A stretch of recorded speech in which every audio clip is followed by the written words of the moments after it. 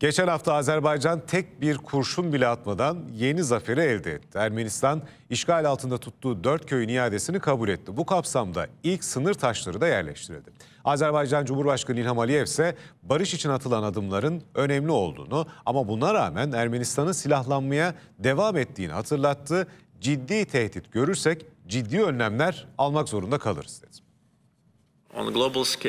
Barış anlaşması imzalanmasına hiçbir zaman olmadığı kadar yakınız. uh, in order to Azerbaycan sahada olduğu gibi masada da zafer elde etti. Ermenistan 1. Karabağ Savaşı'nda işgal ettiği dört köyü iade etme kararı aldı. Sınır belirleme komisyonları ise hemen çalışmalara başladı. Sahadaki uzman grupları jeodezik ölçümlere dayalı olarak koordinatların belirlenmesi için harekete geçti. Bu kapsamda ilk sınır taşları karşılıklı olarak koyuldu. Ermenistan Başbakanı Nikol Paşinyan, Tavuş Gazah kesimindeki sınır taşının fotoğrafını sosyal medya hesabından paylaştı.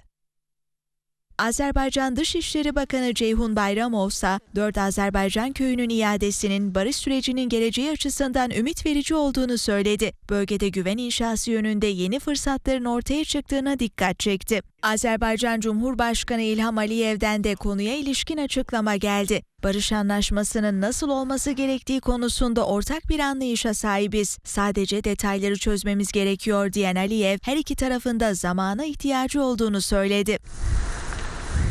Ancak Erivan yönetimi barış anlaşmasına giden yolda önemli adımlar atsa da bir yandan da silahlanmayı sürdürüyor. Bakü'deki Ada Üniversitesi'nde konuşan Aliyev bu duruma dikkat çekti. Tehdit görürsek önlem almak zorunda kalırız dedi. uh, Fransa, Hindistan ve Yunanistan Ermenistan'ı bize karşı silahlandırıyor. Bunu açıkça yapıyorlar ve hatta bize bir şeyler kanıtlamaya çalışıyorlar. Biz de oturup bekleyemeyiz. Bu tavrımızı Ermeni hükümetine ve bugün Ermenistan'a sahip çıkmaya çalışan taraflara açıkça ilettik. Kendimize yönelik ciddi tehdit görürsek ciddi önlemler almak zorunda kalacağız.